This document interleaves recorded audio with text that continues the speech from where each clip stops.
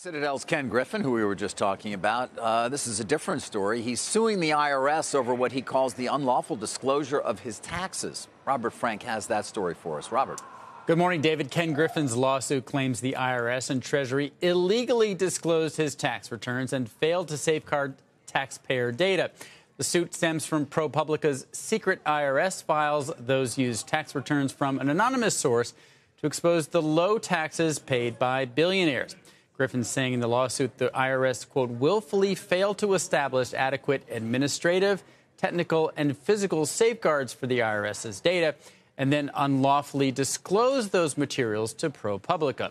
The articles revealed that Griffin earned an average of $1.7 billion a year between 2013 and 2018, and then he paid an average tax rate of over 28%. That made him the second highest taxpayer in the country. ProPublica's main focus on Griffin was his campaign to defeat a state tax increase in Illinois. The IRS Inspector General and Justice Department have been investigating the potential IRS leak for over a year, but House Republicans are frustrated at the lack of reports or updates on those investigations.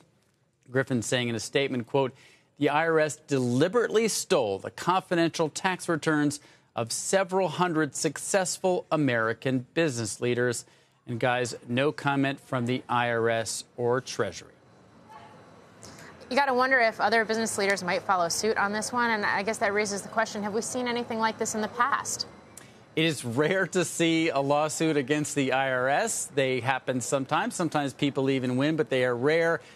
Even rare for a high profile billionaire to do it. So, so far, he's the only one of the hundreds of people whose returns were exposed and who were written up in that series. We'll see if anyone else follows suit, Morgan. Robert, thank you. Uh, Robert Frank.